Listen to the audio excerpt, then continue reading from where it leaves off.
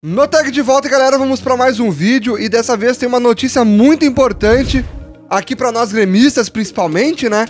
Que é sobre aquela punição que o Grêmio uh, teve, né? Por conta do jogo contra o Palmeiras, onde está sem torcida, seja visitante ou seja local.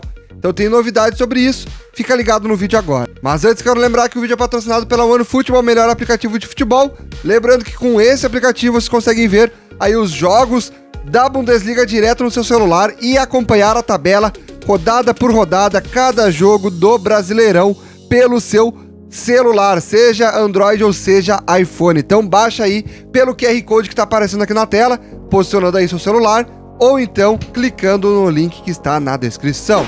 Pois bem, gurizada, novidade aí sobre a punição do Grêmio, né, de não ter torcida.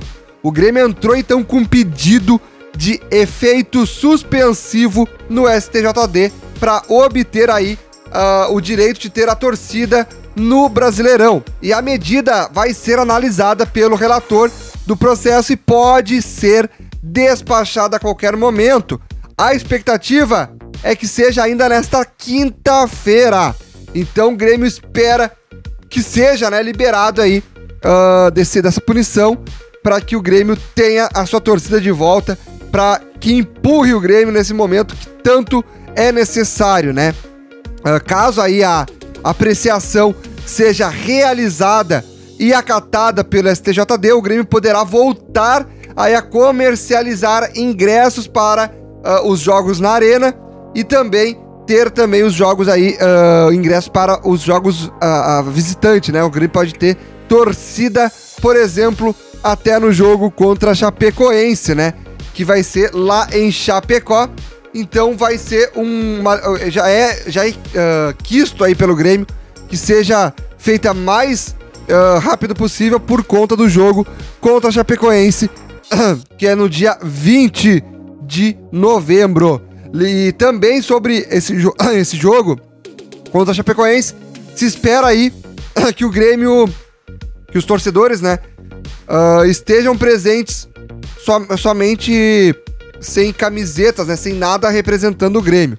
Então os torcedores devem estar indo mesmo que na torcida adversária vai ficar no local onde normalmente é reservado para a torcida visitante.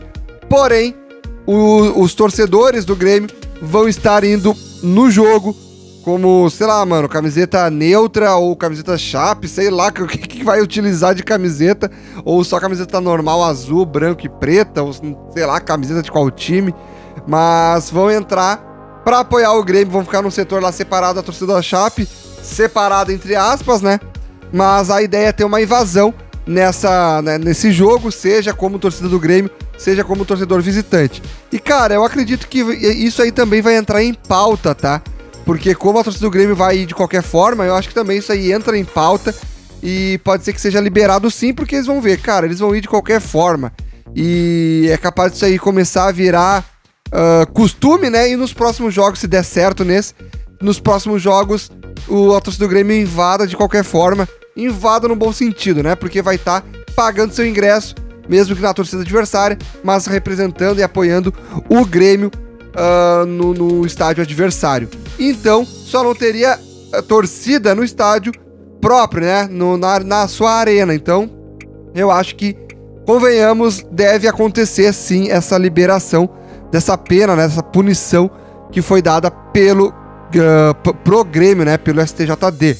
E segundo aí apurado pela reportagem do, da Gaúcha ZH, o diretor do departamento jurídico, Nestor Rain, ele se afastou do caso em virtude aí de desavenças públicas com o presidente do órgão, o Otávio Noronha.